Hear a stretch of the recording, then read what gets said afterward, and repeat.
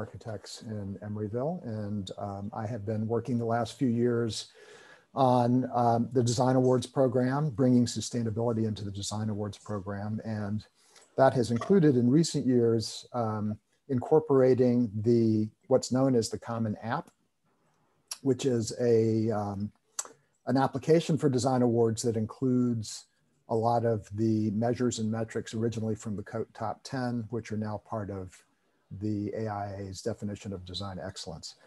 So uh, today presenting about that is Corey Squire. Corey is uh, an architect and a leader of um, in sustainability at the, many of the firms he's worked for, including Lake Flato, um, and is now an independent consultant with the Department of Sustainability, um, consulting with other firms on how to make themselves more sustainable. He was part of the um, COTE advisory group nationally and helped develop the Common App as well as the um, top 10 super spreadsheet. So he'll be presenting about the Common Application. There are a few other people on the call today um, who will help answer questions. Uh, me, uh, along with Bill Burke. Many of you know Bill Burke, who for many years was the head of architectural programs at the Pacific Energy Center. He's also been very involved with uh, design awards and with uh, the technical review in the Common App. And um, Jennifer Devlin from EHDD is also now the COTE representative to the Design Awards, and she'll be on the call as well, and uh, will be available to answer questions. But first, Corey is going to present um, the Common App and, and walk you through it. Before we get started, I just wanted to uh, mention that AIA California has once again partnered with the Pacific Energy and Gas Company to provide helpful education and resources for architecture and design community. In addition to their role in the development of the EUI calculators over the past few years, Pacific Gas and Electric is partnering with AIA California to help make this webinar possible. So I want to thank them for that. So with that, um, I'm going to turn it over to Corey to get started. All right, great. Thanks, Henry. Um, I'm going to share my screen. I'm going to pull up the app and I'm going to walk through it.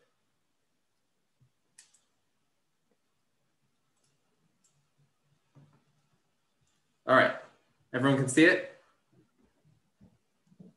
So, um, so the Common App is a is a program, as as Henry mentioned, that uh, that tries to instill kind of the the new AIA principles of design excellence into design awards programs. California has been a leader in this area, um, and uh, chapters, states, cities around the country have been adopting this Common App or or fairly similar programs. Um, the goal being that as architects, we can't just award projects that look good or because they look good. They have to perform, they have to function, they have to stand up for our values as architects for protecting the planet, protecting communities, protecting the health of the occupants, local ecosystems, basically the 10 measures of framework for design excellence.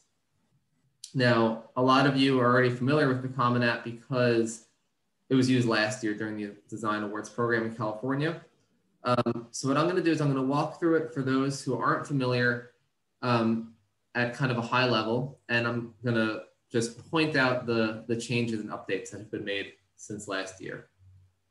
Um, basically, the Common App is divided into two sections. On the top, you're going to have very typical project information, starting off with the project name, um, address, um, cost, use data, some questions about 2030. And then each measure of the framework for design excellence has a series of questions, right? Measure one, measure two. I'm going to go back and do this in more detail, but just to give you the broad overview to begin with. Um, measure three, design for ecosystems. And as you fill out the Common App, this graphic called the spider graph at the top will auto-generate um, an output. Uh, basically, each of these 10 measures are scored um, based on your out, uh, on the questions that you input. Um, and the shape of the spider graph in the end gives the jury a general idea of the performance of your project at a glance. Um, the, the, the idea behind this is not to rank projects by EUI, for instance. It's not to say you got 7.5 points on resources and this other project got 7.4. So this probably wins the design, right? This is just one of many aspects that will be used to influence the jury's decision, to inform the jury's decision, to make sure that the all-around best project is the one uh, that wins, right? This, this uh, Common App combines narratives. There's plenty of narrative to describe what your intention, your design intent was. Obviously, photographs, um, as always, and then the specific metrics. So this is a tool, hopefully um, it's useful for everyone, right? It's useful for the jury because they get to understand at a deeper level what your project does, as opposed to just how the project looks. Um, it should be useful for the people filling out the form. Um, the 10 measures um, might not be completely um, understood or accessible to everybody yet. They're relatively new. This, the, the, they adopted this only in 2019. Um, and we've all been busy in 2020 with, with various activities. Um, so um, if you haven't kind of engaged with the framework design excellence, the individual questions will really help you apply the measures to your project.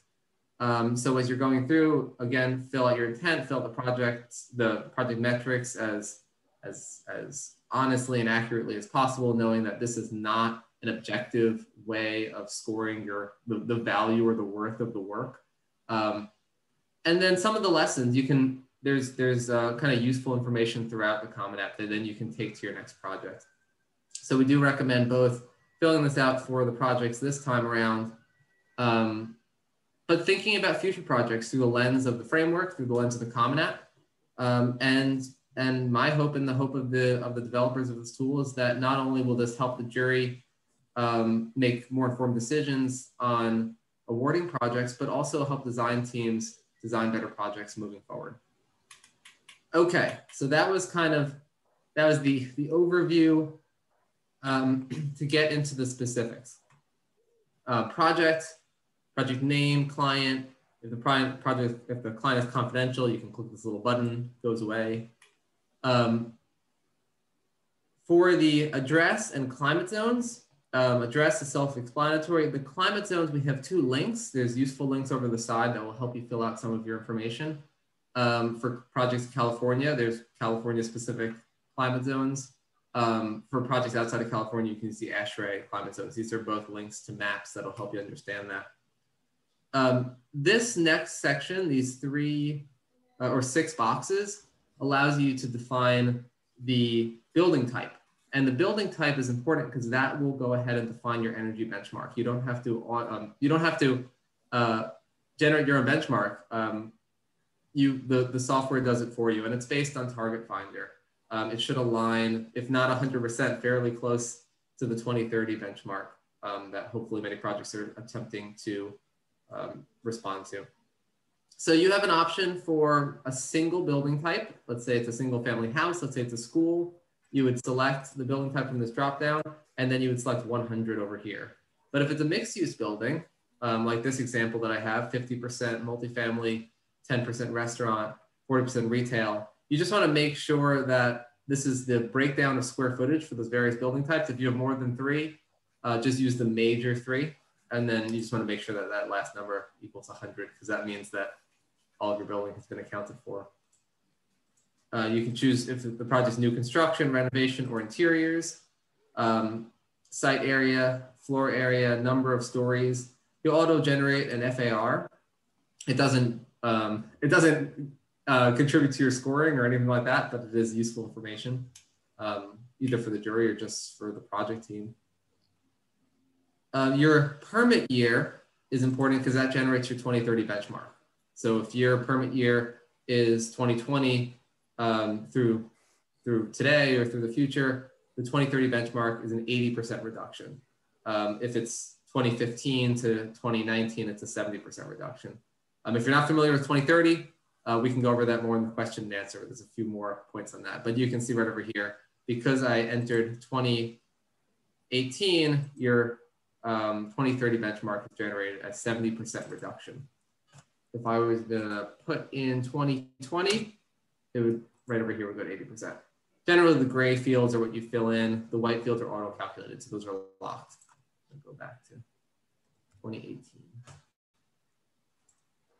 Okay, the quest the the the form asks you if the firm is a signatory of the 2030 commitment. Um, the AIA um, strongly encourages this for all firms. Um, it does not influence your your scoring or jury selection at all, but it's kind of like a little a little poke to remind you. Um, and then was the project certified with a third party rating system? Rather than drop down, you just fill it out um, yourself, the program and the year. If you've been certified, um, if it's targeting or pending in the future, I would just leave that out. Okay, so that's basic, that's the boilerplate information. And now we're to get into the framework. So there's 10 different sections, one section for each measure, and these are the ones where the questions start to influence the spider graph on top. There are three overall questions during design for integration, just narratives. is a project summary statement, a client impact statement, and a statement of design excellence. Uh, the first two are somewhat self-explanatory, so I'm going to dig a little bit into this third narrative under integration. I think this is an important one. Um, this is how the jury will understand what your project and what your design team is attempting to do from the perspective of sustainability, from the perspective of environmental design, design excellence. Um, this is important. This is like one of the most important metrics, or uh, sorry, narratives in the in the whole program. And it's important that projects think about how their project does improve the world beyond the site. Um, I, I, I heard comments from the jury last year that a lot of project teams said things like, we're gonna open up the building to connect with uh, the natural world and like, sure, that's great if you have a luscious backyard, but that doesn't actually help the project from a sustainability standpoint. Um, what are you really attempting to do? How does the project conserve energy and provide comfort, knowing that there might be inundation from wildfire smoke, right? Understanding that the climate will be changing over the next uh, 20, 30, 40, 50 years. What do you do to make sure that the project is part of the solution and not part of the pro problem while simultaneously adapting um, to ensure the building is useful and functional over um, the next number of decades, over the useful life of the building. Um, oh, without, um, without just causing more harm. Um, so really, really important. Um, if your project team hasn't thought deeply about this question, it's time to do that and it's time to do that for future projects as well. Okay, design for equitable communities is the second measure this is broken down to a few broad categories. Community engagement, there's a drop down which has kind of a, a way of self-assigning how engaged the community is during the design process. Um, and you can also um, back up your selection with a brief narrative about the stakeholders that you included. Justice and equity, super important, and the AIA is taking this topic incredibly seriously um, this year. Um, the idea here is that the project, all architectural projects, all architecture in general, um, should think of clients besides the person who's paying you. Um, so how does the project benefit those who are not directly associated with it? Um, so you have a yes or no, and then you can back that up. Transportation choice equity is how we're discussing what used to be alternative transportation. Um, obviously, cycling, um, human scale, walkable neighborhoods, um, transit are all very important from a sustainability standpoint, but it's also incredibly important from an equity standpoint, um, providing choice for the people who use the building on how they can most effectively and safely and healthily get around. So we do ask for the walk score, the transit score, the bike score. These are all generated from a website. You can link here, uh, walk score will take you to the website and you get all three of those numbers. It's a score of zero to 100, closer to 100, the more friendly the site is to that specific uh, form of transportation, either walking, uh, bikes, or transit. Um, we understand that there are rural projects, um, which which are significant, and we don't want to say that's that's not a good thing. Um, that might have very low scores because there's just no public transportation going to the wilderness. But that doesn't mean that um, we still can't gain value from a project in these remote locations. So you have an option to just describe why the walk score, the bike score, or the transit score might not be applicable to your project, and that's okay. And then finally, a narrative. Each of these sections ends with a single narrative. Um, and there's a few prompts. There's not a single thing that you have to discuss in these narratives, but what did your project do for equitable communities, right? The next one, ecosystems. What did your project do for ecosystems?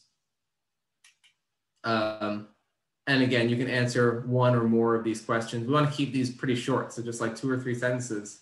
Um, the jury doesn't have time to read a thousand um, long paragraphs, nor do the design teams have time to write them. Uh, so just what is most important to your project is as brief and as impactful as possible. Each of these measures also has the single phrase of what that measure of the framework for design excellence means, and then a link to the AIA toolkit for that specific measure to help you understand the deeper strategies. It can help, um, again, with designing your next project or just your, the prompts of how you answer some of these questions. All right, design for ecosystems. Um, questions uh, focus on the site, basically around the building, right? Is this a rural site? Is this an urban site? Is it a suburban site? Um, was the site previously developed? Incredibly important. Um, the landscaping, are we looking at native plants or is it turf grass? Right? Does the project apply with dark sky standards? Um, does the project utilize bird-friendly design strategies? Both of those dark sky and bird-friendly design strategies, there's some links to help you understand those. Um, these are self-assigned questions. They're yes or no if you click on them. Yes, no. Um, and then there's a little description about how to know whether you should answer yes or no. Uh, but the general overarching theory is if you're answering yes on everything, you're probably being too generous to yourself. And if you're answering no to everything, um, you're probably being too tough on yourself. This is about intention. Um, and it's also about outcomes. So did you was dark sky design strategies a important part of you? Was it discussed during the design process? Did you make intentional effort or intentional decisions to lead to that outcome? That's how you should be thinking about answering the yes or no questions. All right, moving on to water. Um, obviously, incredibly valuable resource. Um, is stormwater managed on site? This is both stormwater and potable water use. Is potable water used for irrigation? Um, we should be moving away from potable water as the irrigation source, looking at either xeriscaping or rainwater collection to feed the landscape for the most part. Um, is potable water used for cooling? Um, this is your mechanical system, whether you have a cooling tower or whether you have, uh, or what, if you do have a cooling tower, what type of water is being used, is being evaporated to keep the building cool.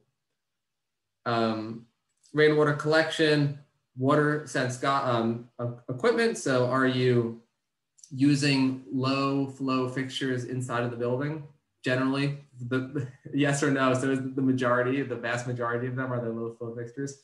So again yes or no questions. And then you can use the narrative either to explain any of the answers above or use answer any of the prompts.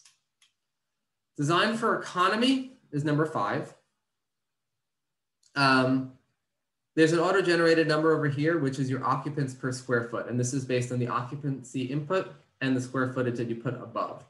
Nobody's judging you on this question, so don't worry if it's not exactly aligned with how you imagined it. Um, it's just from, from your inputs. Um, but we do ask uh, an additional narrative here to describe the strategies you took to right size the building, right? Um, always a larger building will use more resources, right? Both um, embodied energy, um, money, um, temp, uh, electricity and, and gas or just energy to heat or cool. Um, so there is economy in, in right sizing. That doesn't mean that every building should be as small as possible, but it should mean that it generally fits the program. So that's what we want to ask there. You can reference that number, this um, square feet per occupant number. Um, does the project address issues of affordability? If it's an affordable housing project, the answer is yes. If it's a um, a large single family resident, the answer is probably no. Um, and any other building, building type or type of building between the two, it's did you focus on that as a primary um, kind of design move? Um, is the building flexible? Does single spaces address multiple purposes?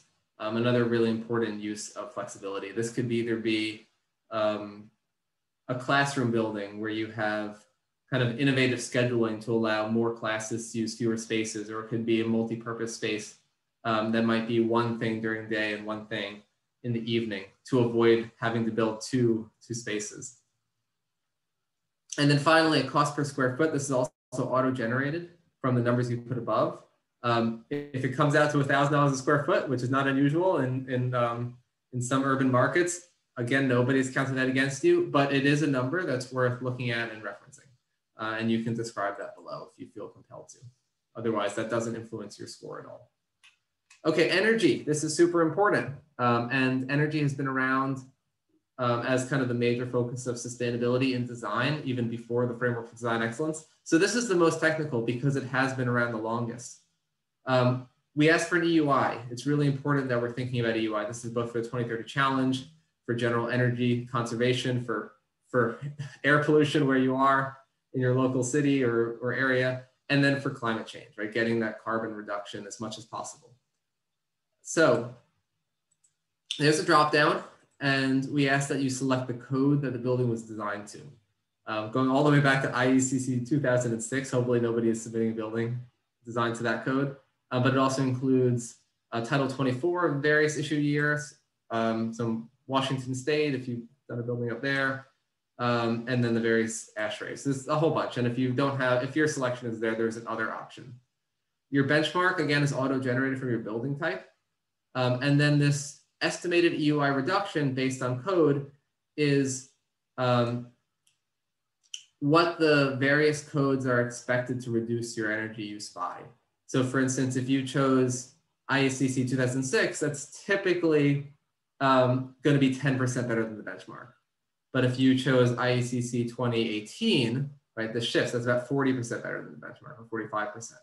So this number, if you haven't measured your energy, if you haven't modeled for energy, this is the number that we're going to use, just assumed energy reduction based on your um, the energy code.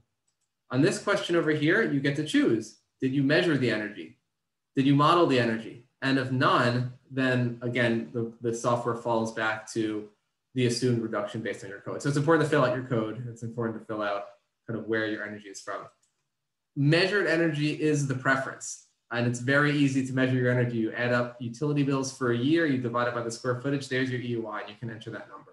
It's much less um, expensive and time consuming than building an energy model. We always recommend energy modeling. But if you have both the measured and the modeled, you should just, you should go with the measured. And if you only have the modeled, you would go with the modeled. And if you have neither, again, we're going back to code. A bunch of auto-generated number. Uh, oh, you can put in your EUI from renewables, which is subtracted to give you a net.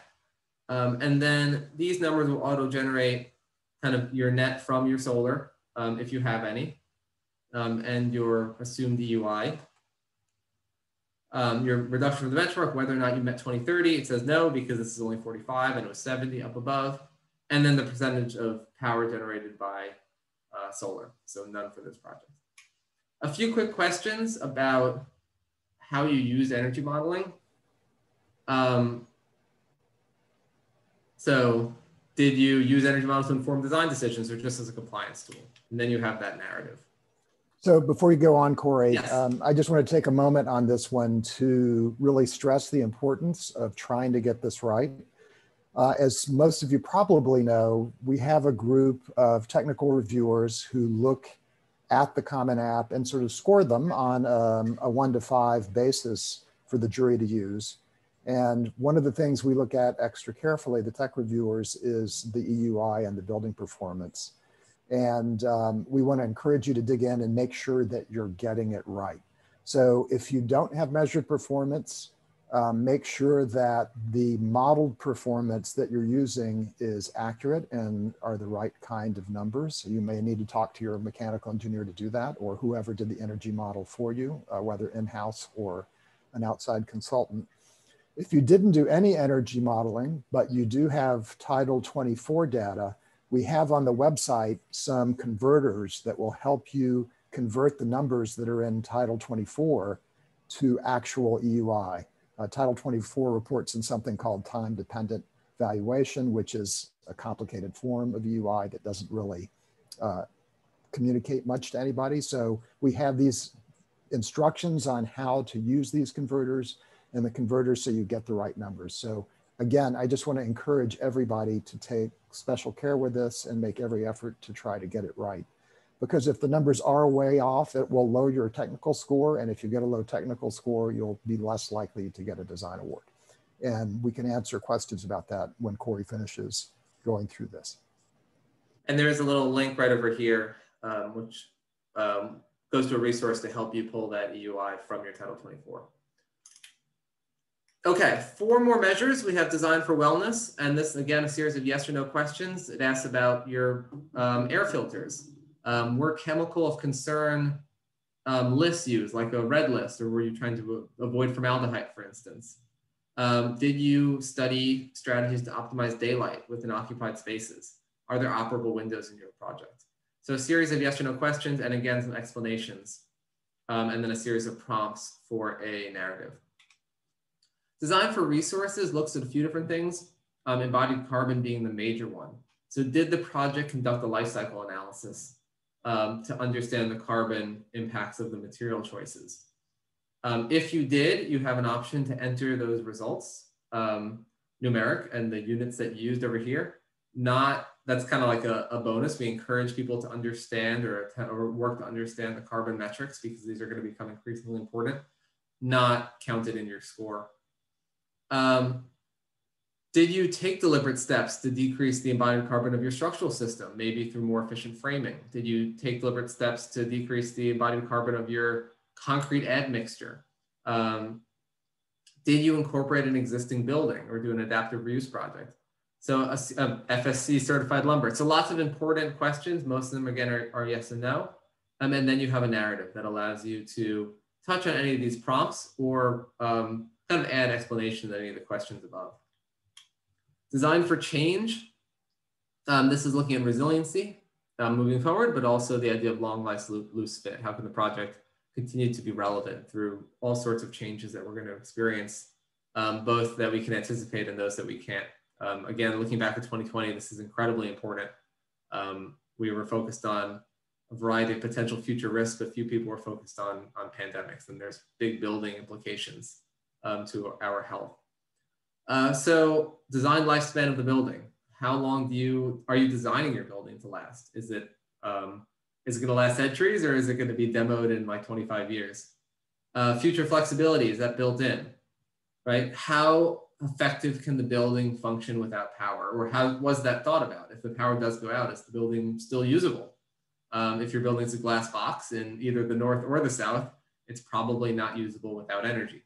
If the building has kind of reasonable apertures and maybe even a little bit of thermal mass, you could probably maintain occupant comfort um, for a serious, but for a, a, a, significant amount of time without energy. Do you have backup power? That's another question. Um, and then we just ask a quick short answer. What is the, the major risk um, that your building is, is, is designed to deal with, right? If it's near a fault, it might be uh, structural stability for earthquakes. If it's near the coast, it might be adaptation for sea level rise. If it's near forests, it might be uh, protection against forest fires. So um, want to just, the project's to self-assign kind of that risk so that the jury knows what they were thinking about. And also so the project team can start thinking about this moving forward. Uh, and then finally, design for discovery is the last measure.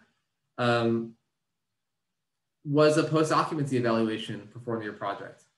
Um, did you survey occupants for their comfort or their satisfaction? Did you make improvements to the building based on these, these outcomes?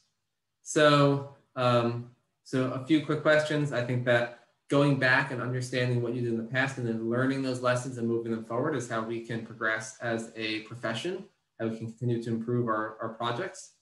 Um, and, and then again, um, we're going to finish with a narrative uh, where you can go into more detail or respond to any of these prompts. So that is the whole Common App. Um, I hope that it doesn't seem um, overwhelming. It should not seem overwhelming. It's actually fairly simple. You read through it and then you think about what your project did. It's a useful exercise. So if you don't do any sort of post-occupancy um, as part of your normal process in your office, um, it might even be a good opportunity to kind of like debrief on your project don't look at this as something difficult or onerous. Look at this as an opportunity to give the jury more information, to learn about your project, to reflect on your intentions, um, and then to think about how future work can align with the new framework for design excellence at the AIA. So that's what I had. Um, I think, Henry, are we ready to open up for questions? Yeah, we already have a few uh, typed in. So um, the first question is, if a project is higher education, do students count as people not directly involved in the project? Or would that only apply to, say, surrounding community users, uses, sorry? That's an interesting question. And I, I, I feel that with many of these, um, they're open to interpretation. So um, it's, it's a great idea if you're designing a school to in, include students into the design process, get some thoughts for them. Um, but they are the primary occupants. So it is expected that you are designing with their health and safety and benefit in mind. So I would say you want to look at both of those. You want, the school should benefit the surrounding community and the school has to benefit the, the students. So the next question is um, the design questions how do you answer those for a renovation project as opposed to a new building? The which specific questions are different for renovation? I, I, think they meant measure one, the, the narrative in measure one. Mm. Is that right, Veronica? You'll have to just, um, well, Debbie, at this point, can we make it so that people, we can hear other people? Yeah, so I did unmute uh, Veronica if she wanted to clarify her question. I'm so sorry. Can you repeat that question, what you asked? Uh, if you had a specific question that you were wondering how it applies to a renovation. Yes, towards the end when you were talking about the design, um, if you could scroll down to the checklist, there are specific questions that have to do with the design of the building itself we're um, looking to submit a renovation where, I mean, we wouldn't necessarily be able to say, was the building designed originally for like later you, if you go down, I think it's one more. Like it, it wasn't originally designed for well-being, but we're kind of making those upgrades. And then it wasn't originally designed like for disassembly, no, to steel structure. Um, and then the future flexibility design, like we're actually taking it and making it a college campus, so sort of, right? Yeah. Yeah, so the, the questions were designed to be as broadly applicable as possible for renovations, for interiors projects. But I do understand that not 100% of the, questions do align perfectly with those different project types. So I would say from the perspective of your renovation as a, as a completed project, right? Um, are you adding elements that might apply to some of these these um, kind of um, these questions? So if we're looking at something like design for resources and the question about um, was um, effort made to decrease the embodied carbon of the structural system, maybe you didn't touch the structural system, so it's not relevant.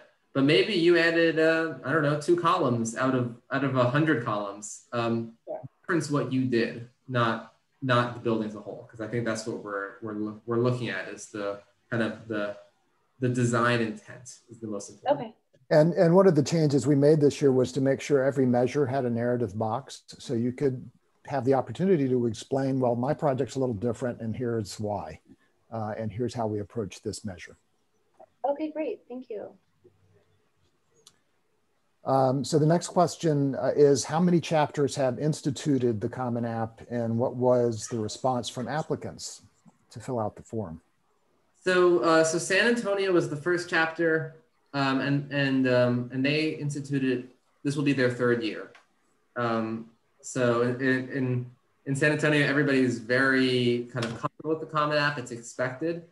Um, we we we did do a similar webinar like this for the first two years. And the third year there actually wasn't even enough interest because people were so familiar with the concept even though it's slightly updated since then chapters around the country have been have been using this. So so seattle applied it california obviously last year. Uh, state of colorado also that last year again this year.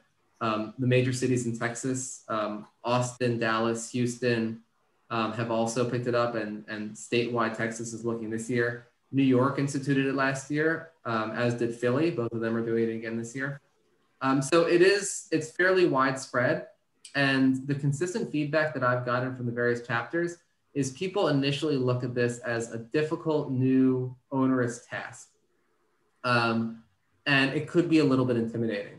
But the feedback of people who filled it out is it actually wasn't intimidating. It was actually fine, right? And actually, it was a benefit because I got to get into more detail around um, kind of my project. I got to, um, I had the opportunity to share my thought process at a very granular level with the jury. Um, so I, I, do think that anytime there's a change, um, people might be um, um, apprehensive. But I would say approach this if you haven't done it before, not as something new and difficult and required, um, but as an opportunity to share a different part of your thought process with the jury. Um, and um, it, it, a few years from now, I suspect that uh, we'll look back and think that it was crazy that we never asked questions about building performance or sustainability in design awards programs. So it is a little bit of a shift, but it should not be kind of an overwhelming one. And last year was the first year AIA California did it. Um, we, you know, we did another webinar like this and answered people's questions. Um, there were most people filled it out pretty completely. There were not a lot of complaints about it. So I, I think it really is a pretty straightforward thing. And part of the idea is that there will be this application and this will be the only thing you fill out for every design awards program. So if you're submitting uh, a particular building for AIA California, but also for your local chapter and also for a National Honor Award that you only have to do this once. Um, and it'll be consistent across, eventually across all those um, different levels of the AIA. Yes, it's a little bit of a grassroots effort, so we're, we're moving, but that's, that's what we're moving towards. That's the goal. Henry and Corey, uh, this is Bill Burke. I just wanted to uh, reply and say, um, really don't think of it as onerous. You know, I mean, no one expects that you're going to say, yes, we did every one of these things. And really, like with design for resources, on most projects, there is a good reason why you chose your structural system. Um, you know, that's kind of what we're trying to get at. Why did you choose this structural system?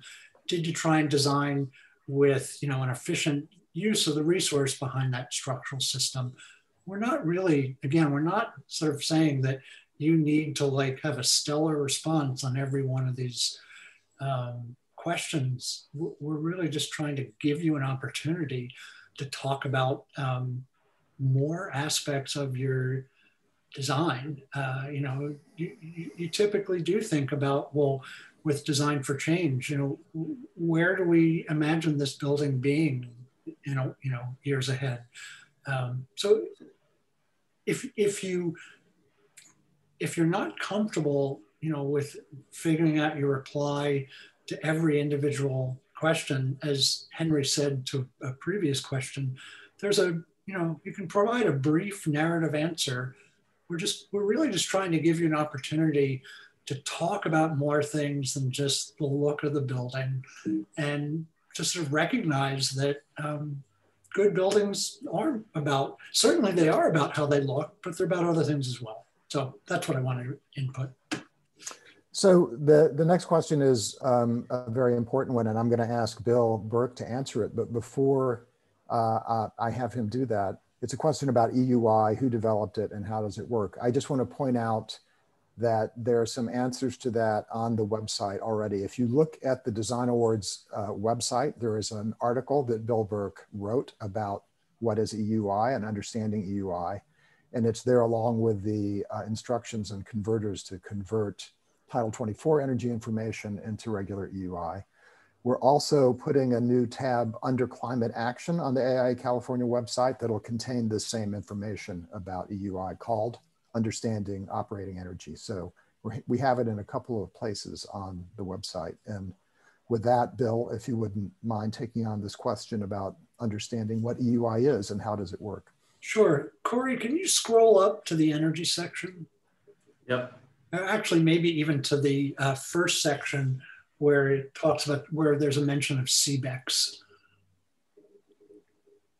Okay, so energy use intensity, it's, it's a metric that is how much energy is being used per square foot of building. So it's sort of like a, an energy density measure. Um, and obviously it is not gonna be the same for different building types. So um, as to it's been used for decades. I mean, honestly, I don't know who exactly um, first created the, the, the, metric, but the, um, you know, the US government has done this commercial buildings energy uh, use survey for many decades. That's what CBECS is Commercial Building Energy Consumption Survey. Um, and so by building type, they have gone out and you know measured the energy use of different building types, and they could say in you know 2003 the average uh, building of this building type used this much uh, energy per square foot. They convert it, they take electric electricity and gas and convert it into one metric um, uh, thousands of British thermal units or kBTU per square foot. Um, and, and so the idea of EUI is if you understand what um, a building of your building type uses, you can have a, a better sense of sort of, are we sort of uh, a lot better than average, a lot worse than average, um, or not? And ideally, you know, the, in the best of all possible worlds, you actually get that information from a utility bill after the building's operated. As architects, we don't always get that. So in a lot of times we're saying we did an energy model to um, estimate what the energy use intensity uh, is going to be for our project. And so that's when we get to the design for energy, that's what we're asking you is, you know, um, how did you get this EUI number? Um, is it you know, is it pulled from a utility bill? Is it from a design model where early on, you know, you started doing some models um, and then at the end you kind of said, okay, now we sort of have the whole building together. What's our whole building energy is going to be? Um, and then if you didn't do that, if you have a Title 24 compliance model, um, you can, using the converter that Henry said uh, is available from the AI website, um, you can take data in your Title 24 report and um, create a um, EUI based on that. The issue with Title 24, as Henry said, is that Title 24, the Energy Commission um, is looking at kind of the whole state's energy needs. And so for reasons really having to do with managing um, the whole utility grid, they actually, when they when you do a Title 24 compliance model, the hour of the day in which you use the energy gets uh, a multiplier created by consultants to the CEC um, that basically sort of give more uh, importance to energy used in the late afternoon early evening than energy, say, in the middle of the night. So they apply these multipliers and it's used for the state's purposes, but a Title 24 EUI, as Henry said, is called time dependent valued. So for architects, for people sort of trying to compare um, a California TDV EUI against an average for a building type, it just doesn't work. Um, so that's why you know we we ask you to use the converters to get it back to before those uh, multipliers were applied. So I'll go back to what I said initially. Energy use intensity is a measure of energy density per square foot.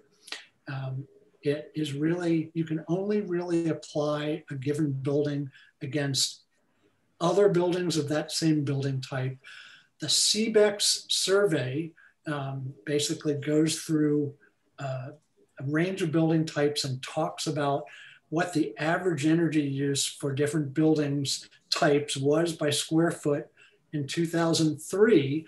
And then the 2030 reduction targets are saying we want to use less energy per square foot in new construction projects now than we did in, in in 2003. So the intent is that you can compare a modeled EUI or a measured EUI taken from utility bills against how efficient a building, a typical building of that building type was in 2003.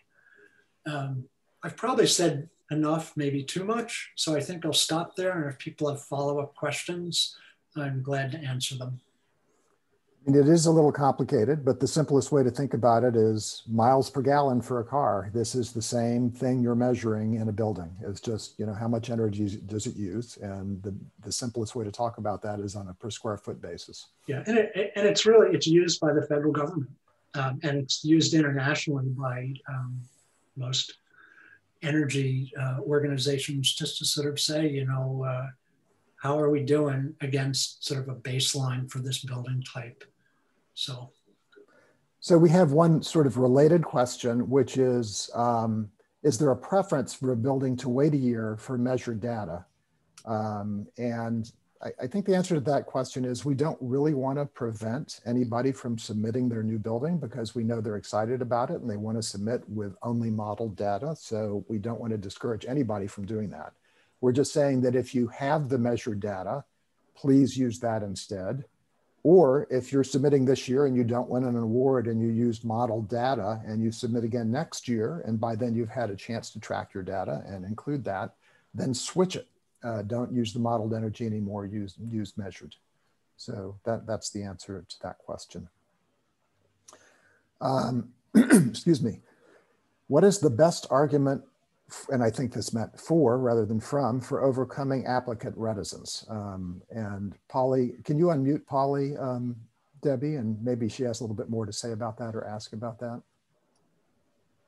So I better understand the question. Polly, you're unmuted.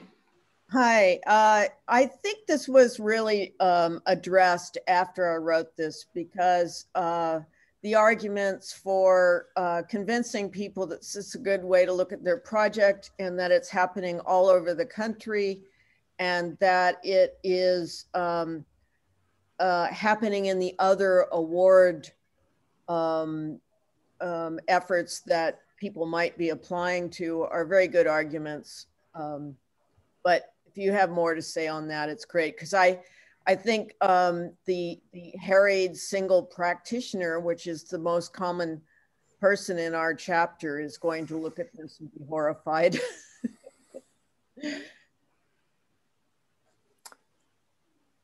I think I, I would just horrified, but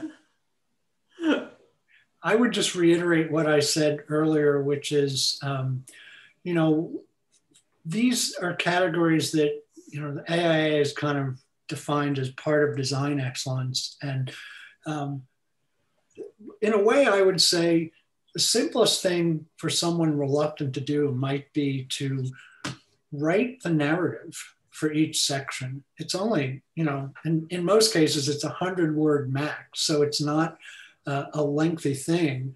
Um, and then answer the questions to the fullest extent possible. Um, it's not, we're really not again, we're not saying you've got to like, you know, be doing every one of these things. We're really just trying to sort of actually make it easier for people to sort of see, oh, well, we actually, yeah, we did something there and we did something there. But it might be easier really to reverse engineer it, like I said, write the narrative and then answer the rest of the questions. That's a great idea. Okay. I also want to share that a lot of chapters initially, when they uh, kind of adopt this process, had been nervous about decreasing the number of award submissions because um, in many chapters, submissions um, are provide significant funding for, for AIA operations. Um, and because of the sensitivity around that, we've been tracking it. And we haven't found any evidence from any chapter um, that the Common App has decreased the number of submissions. Um, so it, it, might it might be a, a learning curve initially, um, but it's it's really not that hard, and um, there hasn't been um, there hasn't been an overwhelming number of questions, and there hasn't been any reduction in submissions from from the other chapters that I've that I've worked with. Corey, the one thing I'll add is um, the one measure that does take a little more time, as Henry said, is the design for energy one, because you know it is sort of asking you for your energy use intensity. It's asking you to sort of, you know, come up uh, with, as Henry put it, sort of a miles per gallon number for your design. Um, and you know, you can either do that by uh, getting the utility bill after the building's been open for a year, and we realize that's not doesn't happen that often. Um, it could be that, particularly on a larger project uh, or a, a, a, design engineer or an energy modeler, or in some cases, somebody in an architect's office um, did a, an energy model used during design, which then can also sort of be okay, in the end, here's what we think it's going to use in kBTU per square foot, and the software, you know, will generate that number for you.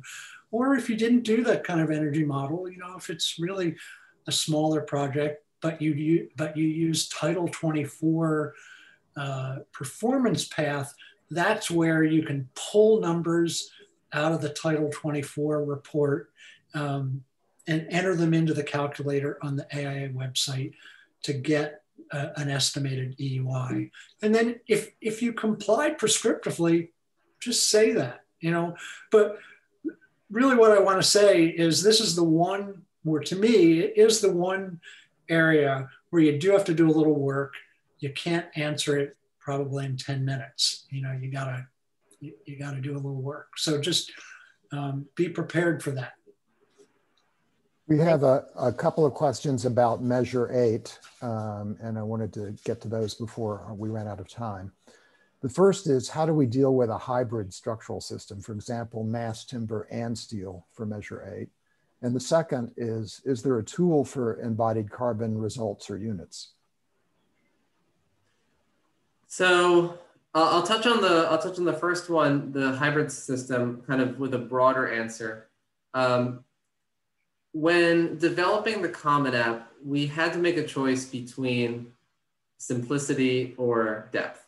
Um, and because we can't address every single unique case, we wrote the questions in a way that were more straightforward for the vast majority of projects out there. So the, the, the hybrid structural system is an analogy for every hybrid system on every question. Um, and what I would say is use some discretion when you're filling out the, the Common App. Um, is, the, is the structure 80% uh, mass timber and 10% steel? Is the structure 85% steel and 15% mass timber? I think that matters. I would go with the predominant structure. Is it a 50-50? Uh, go with mass timber because that's that's significant that you that you did as much as um, as, as much as that as that kind of that unique building type. Um, but the questions are not meant to be overly specific. The questions are not meant to kind of uh, penalize design choices or be any sort of cutthroat in any sort of way. It's not a LEED checklist, right? The sustainability in my mind is not um, numeric answers to very specific questions. It's design intent.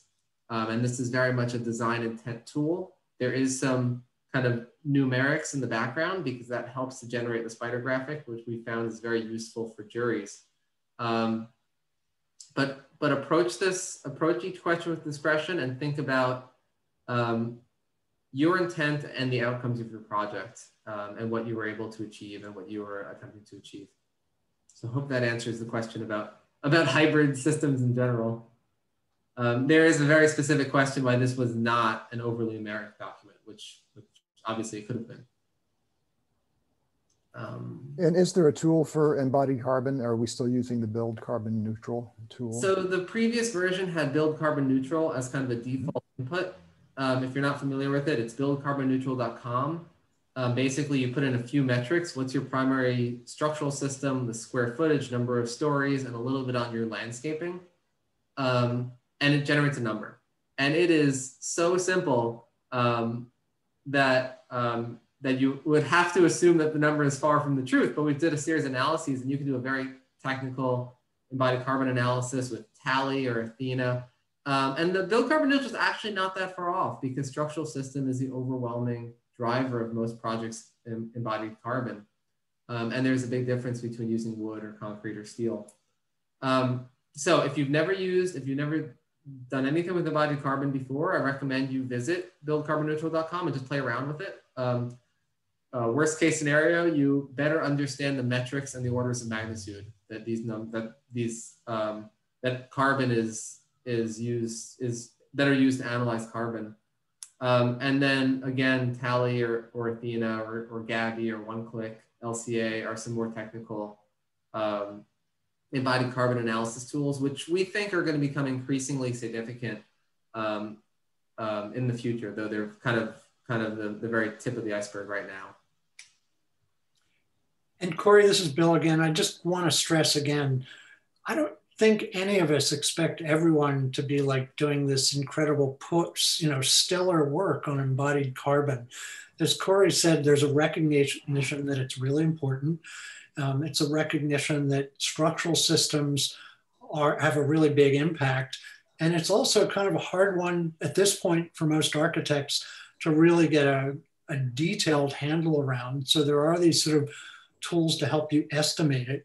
Um, but if you have not been able, as a single practitioner, say, to really address it much, no one is going to, you know, it's not like a deal breaker. Just, you know, we're, we're trying to get at emerging issues and give you an opportunity to say you addressed it if you were able to address it. I'm done. There's one last question, and um, I'm going to answer it very briefly because we're about out of time, which is, is there a section for active design um, or is biophilia something only for a narrative? I would say at this point, it is something for the narrative. There are no specific questions about it at, at this point. So please, if you have something to report on that, I'm sure jurors would be interested in hearing about it. So please do include it in your narrative. Um, so this, Debbie, will be posted on the website. Uh, maybe you could tell us it'll be posted, the video for this will be posted under Design Awards. And how soon will you be able to post that? Um, it'll be on our uh, Design Awards page later today. So by end of day, Great. five o'clock today. Okay, so somebody did ask if they wanted other people to be able to view it. That's where you will be able to find it. Yes. Um, so There's a a link just, in the chat also for that page. Great. Great. Okay. So I really wanted to thank Corey for taking the time, first of all, to put this together. Second of all, to listen to our uh, inquiries about how to revise it and all the work you've put into revising it. We really appreciate uh, all the work that you've put into this. So thank you again for doing this for us today. And thanks to Bill and, and Jennifer Devlin for joining us to, to help answer questions. And I also want to finally thank our partners at Pacific Gas and Electric one more time. Um, any last minute questions? We have about one more minute. Okay, hearing none, I think we'll call it. Thank you very much, everybody. We appreciate your attendance. If you do come up with more questions, don't hesitate to uh, reach out to Debbie Salindo at AIA California, and she'll pass those questions on to us, and we'll do our best to answer them for you. So thanks, everybody, and uh, have a good afternoon.